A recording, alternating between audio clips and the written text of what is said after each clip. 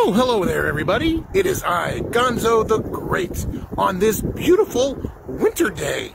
And today is a perfect day for me to launch my new stunt act. That is right. I am going to plummet 300 feet. You guessed it, 300 feet all the way up there from a hot air balloon.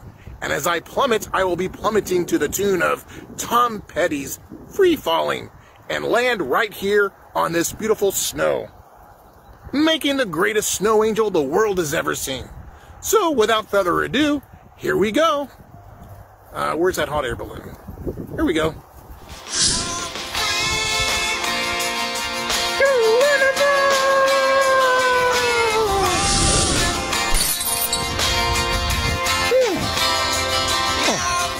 Well, as you can see, that's what. Oh,